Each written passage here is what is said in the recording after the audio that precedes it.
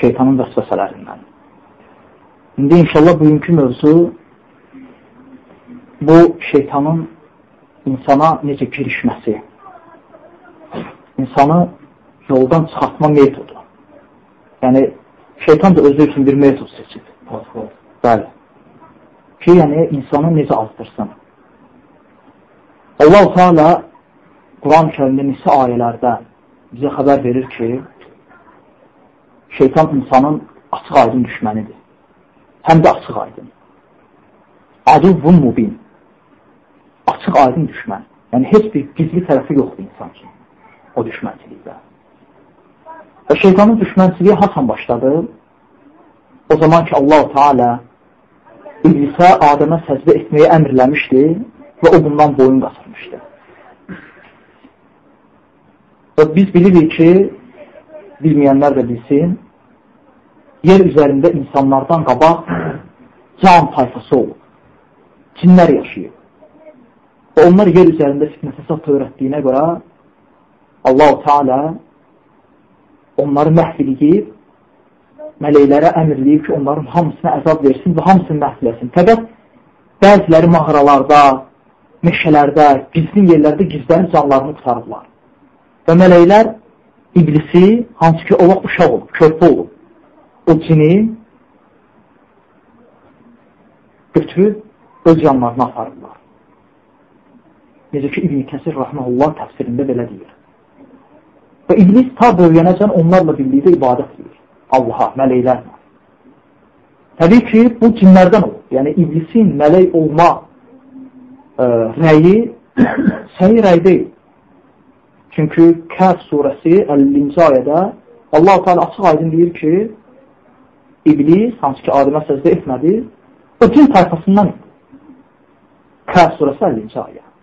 Kim İblis mələk olub desə, Kəf surəsi 50-ci ayəni dəlil gətirməmək. Çünki İblis mələk olub deyənlər nəyə isnad edirlər? Onlar deyirlər ki, Allah-u Teala bütün mələklərə əmrlədi səcdə etməyi, hamı səcdə etdi iblisdən başqa. O nedir iblis mələkdir? Fəqət iblis mələklərin içərisində idi. Və təkəbbürlüyündən o səzdə eləmir. Kibir, ona görə kim mütəkəbbirdirsə, kibir əhlidirsə, o iblisin dostudur. Çünki kibri iblis özünə sifət seçmişdir. Halbuki kibir Allahın libasıdır. Və qullardan heç kəsə yaraşmaz ki, o libası öz əlinə geyilsin. Ona görə uca Allahın adlarından da bir mütəqəbbir, yəni kibirli, böyük olan. Və sonra Allah-u Teala həm Adəmi, həm də ki, iblisi və onun nəslini bir-birlərinə düşmən olsunlar deyə gözlərinə göndərir. Və beləcə başlayır iblisin insanla olan düşmənçiliyi. Və ümumiyyətlə şeytanın insanı yoldan azdırmaq üçün birinci qapısı insanı Allahın əmirlərindən, ibadətlərdən çəkindirmək qapısıdır. Hansı ki, məsələn, bir namaza başlamaq istəyir, insanın qəlbində namaza niyyət olan kimi şeytan da gəlir. Hə, sən namaz qılsan, sən böyrəklərin axıyır hə, qışda dəstəmaz alacaqsan, olmaz. Hə, və ya sən işinə alınmaz. İnsan işini ibadətinə görə düzəltməlidir. Şeytan ona vəsvəsə verir ki, ibadəti işə görə düzəlt.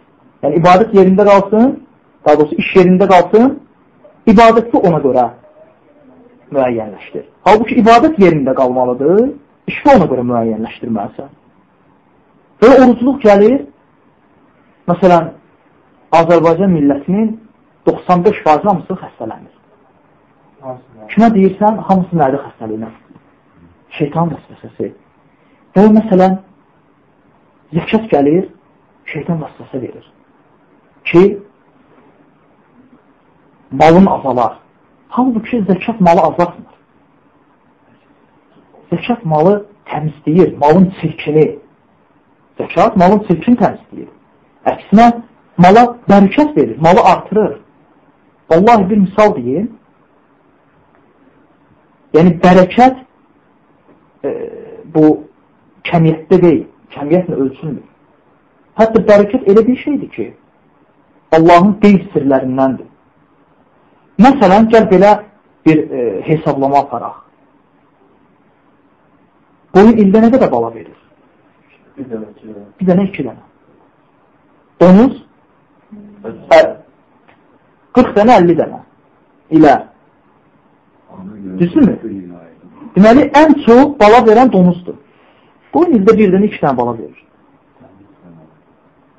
Ancaq dünyada ən çox kəsilən də qoyun donuz yox. Məsələn, bir dənə qurbanlıqda dünyada neçə milyon qoyun kəsilir, hesablamaq olmaz. Amma haçan eşitmirsən ki, deyilsin donuz sürüləri. Həmişə deyilib qoyun sürüləri. Niyə? Çünki Allah subhanətlərin bərəkəti var. Yəni, sən bunu riyazı hesablamana vursan, düz gəlməyəcək. Amma Allahın bərəkətini göz qabağına gətirəndə düz gəlir. Zahirən bəlkə cahilə elə gəlir ki, zəkat və sədəqə maldan nəyisə azaldır. Amma əksinə, bu da şeytan vəsvəsələrindən gəlir səni bununla qorxusur. Və evlənmək ərəfəsi gəlir, kasıblıqla sənə qorxusur. Necə Quran-ı kərimdə Allah taala deyir. O saat göz qabağına nəyə gətirir? Toy, xərc. Halbuki sən onu kiçik bir mərasimlə də yola verə bilərsən. Sonraki yaşayış. Sonraki yaşayış yoxsa. Və cihad şeytan gəlir vəsvəsə verir ki, ölür. Hətta hədisdə gəlir. Peyğəmbər sallallahu aleyhi ve sellem sahib bir hədisdə deyir ki, qul hicrət eləmək istəyər, ibadət istəyər. İblis gələr, şeytan gələr, deyər ki, yaşadığım, boya başa çatdığın məmləkəti tərk edirsən, o tərk edər. Və cihad vaxtı gələr, şeytan gələr, fısıldayar ki, yorulmaq var, taqətdən düşmək var, hətta ölə bilərsən. Zövzdən başqalarına nicahlanacaq, malın mülkün varislər arasında paylanacaq. Fikir versən vəsvəsə, hansı nöqtədən yapışır? Ya onlardan sıqırt versən, olun yerlər. Bu şeytanın birinci qapısıdır. Hansı ki, insanı ibadətlərdən yayındırmaq istəyir. Və əgər bu alınmasa, insan bu məsələdə sabit olsa, şeytan keçir ikinci qapıya. O da haramlar qapısıdır, böyük günahlar.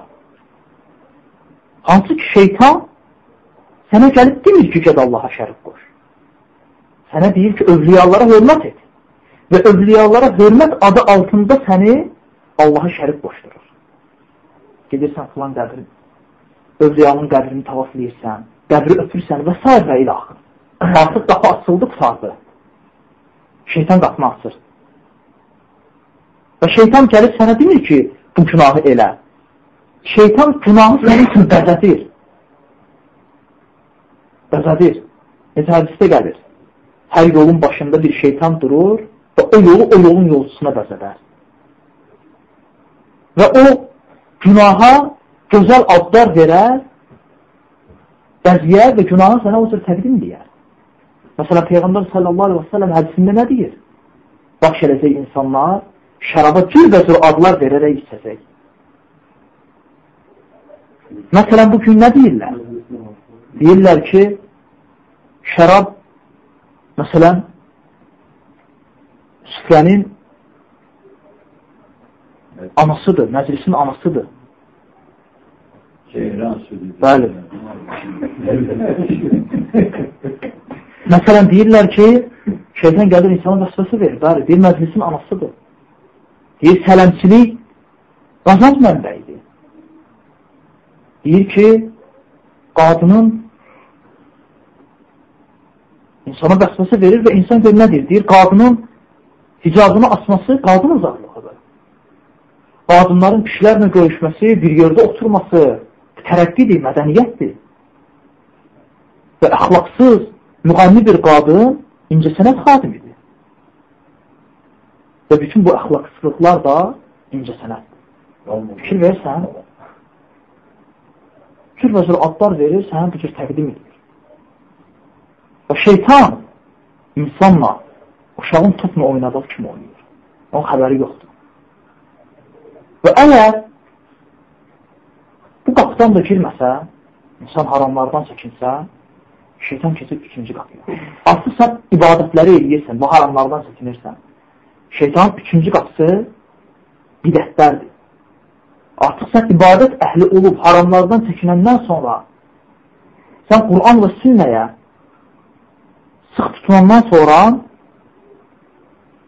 gəlir sənə vəsvəsələr verir ki, dinə özündən yeniliklərlə. Məsələn, hər gün dur, gecə vaxtı min dəfə Allahu Akbar, Allahu Akbar. Və hətta elə insanlar var ki, şeytan vəsvəsə verir ona. Vəsvəsə verir ki, bir dənə zikr proqraması tut. 1111 dəfə La iləhə illallah vəxtə alə şərikə rəhd duasında. 111 dəfə La iləhə illallah dinə. Filan qədər Allah dinə. Və sən də bu yazırsan. Əməl. Və sonra deyir ki, sən bu xeyrə nail oldun və başda bu xeyri yay. Çünki xeyrə səbəb olan o xeyri işləmiş kimidir. Xeyr deyil bu. Ona qoy Sufyan Savr deyir ki, şirkdən sonra iblisə ən sevimli olan şey hətta günahlardan da bidətdir. Və İbn Abbas deyir ki, Allaha ən sevimsiz və iblisə ən sevimli olan əməl bidətdir. Bidət nədir? Sən dinivi darmadağın edirsən. İddia edirsən ki, Peyğəmbər sallallahu aleyhi və səlləm filan yaxşı şey olub onu gətirməyib və mən onu gətirmişəm. İddia edirsən ki, din naqis olub. Və ona görə İmam Şafi deyir ki, mən Allahın dərgahına razıyam. Şirkdən başqa bütün böyük günahlarla çıxın. Zinə ilə, oğurluq ilə və s. Bidətlə çıxın. Ona görə sərflərdən İbn-i Uyeynə, Süfyan İbn-i Uyeynə, rəhməlullah, öz oğluna vəsiyyət verir. Deyirdi ki, oğlum, sən asi olan, əməllərində günah olan, fəqət əqidəsi, sünnə əqidəsi olan, tohid əqidəsi olan biri ilə dostluq ilə, amma özünü təqvalı sayan və təqvalı görülən bidətçi ilə dostluq eləmə. Şey versən. Hətta şeytan bu məsələdə də insana yol tapa bilməsə və sonra keçir şeytan kiçik günahlara və ya məkruh olan, bəyənilməyən əməllərə və ya şübhəli əməllərə hansılar ki, insana deyir ki, bu kiçik günahdır. Məsələn, insan gəlir dükana, məsələn, satıcı qadındır. Və sən deyirsən ki, şeytan vəsvəsə zəruriyyətdir. Bir mal, iki mal, o da nəysə sual verir, nəysə soruşur və 10 dəqiqə söhbət edirsən ona, özündən xəbərin yoxdur. Şeytan kiçikdir deyir, başlayır səni böyük günaha aparmağa. Ona görə sələflərdən biri deyir ki,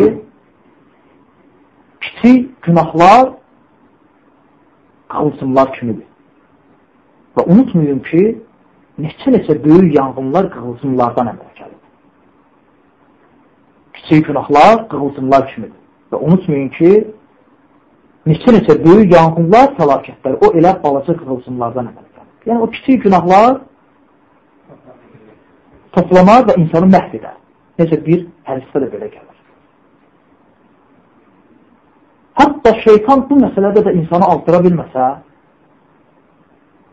hətta insan bu məsələdə sabit olsa, şeytan insana bu yolla zəiflətmək istəyər. O da budur ki, gələr insana vəsvəsə edər, xeyirli və əhsəl olan əməl ola-ola fəzilətlə və xeyircə ondan zəif və ondan az olan əməllə onu məşğul edər. Məsələn, insan Ola bilər ki, iki rükət namaz qılır, amma xuşi ilə qılır. Və şeytan bunu görür. Və gələr vəsvəsə verər ki, sən çox ibadət elə.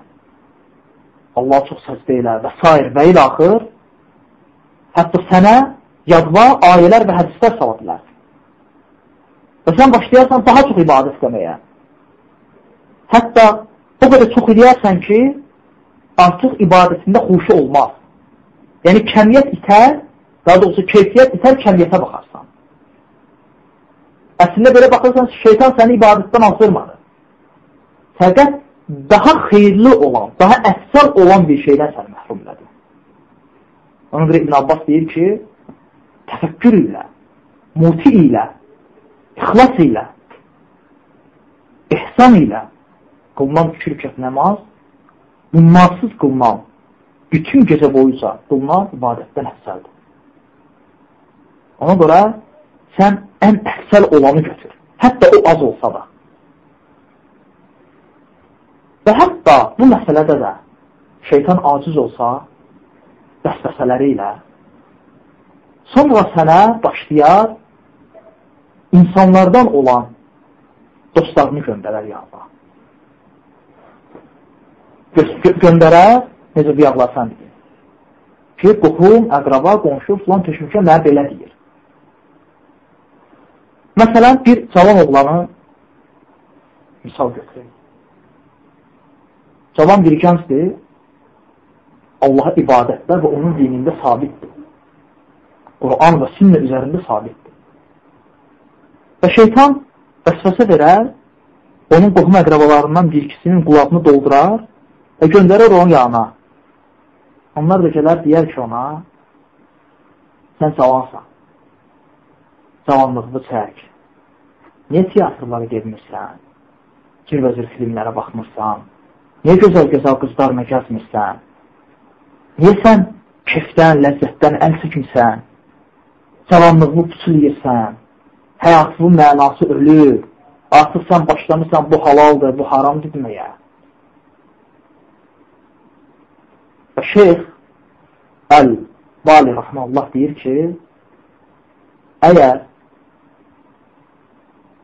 bu cür insanlar gəlib sənə belə desələr, sən onları dua, dəvət ilə, haqqa. Əgər onlar sənin sözünü qəbul etsələr, Allah həmdir, şükür et. Yox, əgər onlar sənin sözünü qəbul etməsələr, halbuki sən haqqı deyirsən, onları cənnəti çağırırsan, onlar sənə orada çağırdığı halda qəbul etməsələr və öz dediklərində dursalar və hətta həddə açsalar, bil ki, onlar insanlardan olan şeytanlardır. Ona görə ki, Allah buyurur ki, mən Nəs surəsinin axırıncı ayəsində Allaha çıxmıram insanın sinəsinə vəsvəsə verən şeytanın şərrindən, o şeytanın ki, minəl cinnəti olan nəs. Cinlərdən də olur, insanlardan da. Hətta bəzən insanlardan olan şeytanlar, cinlərdən olan şeytanlardan daha betər olur. Aydındır. Allah Taala bizi haqq üzərində sabit etsin inşallah. İxlasla.com saytı tərəfindən təqdim olundu.